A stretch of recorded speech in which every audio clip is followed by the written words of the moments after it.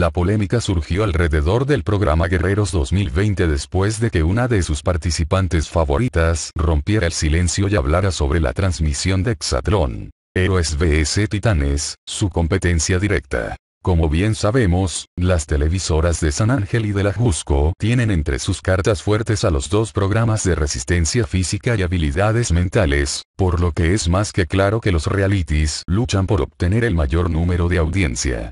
Por ello, las declaraciones emitidas por Maki, capitana de Cobras, generaron demasiada polémica entre los seguidores de los programas, pues hubo quienes aseguraron que la integrante de Guerreros 2020 no tenía nada que decir y otros expresaron su apoyo. Por medio de su cuenta de Instagram, Maki, una de las favoritas para ganar la primera temporada de Guerreros 2020, publicó una serie de historias en las que habló sobre la actitud de algunos participantes de Exatlón. Héroes vs Titanes. Como bien sabemos, Maki participó en una de las temporadas de Exatlón, en donde se hizo muy amiga de Ernesto Cázares, quien compite en la nueva edición del concurso. En sus comentarios, la actual capitana de Cobras reprobó la dinámica impuesta por el reality show en donde los ganadores humillaron a sus rivales. La deportista señaló que eso no era lo adecuado en una competencia como lo es Exatlón. No olvides suscribirte y activar la campanita.